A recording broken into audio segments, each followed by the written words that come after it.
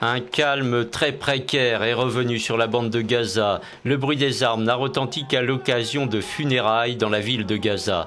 Le djihad islamique enterre ses morts, neuf combattants palestiniens tués samedi lors de raids aériens israéliens. Ce dimanche, toutes les factions palestiniennes ont consenti à respecter un cessez-le-feu.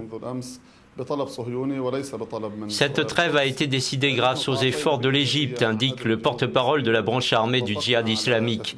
Nous sommes d'accord pour maintenir la trêve, mais nous nous réservons le droit de répondre à toute agression israélienne. Les avions israéliens ont employé les grands moyens pour frapper le djihad islamique dans le sud de la bande de Gaza. Un raid a encore eu lieu ce dimanche à l'est de Rafah. Un dixième combattant palestinien est mort. Le Premier ministre israélien a tenu à rappeler ses responsabilités au Hamas, l'autre mouvement palestinien qui gouverne la bande de Gaza.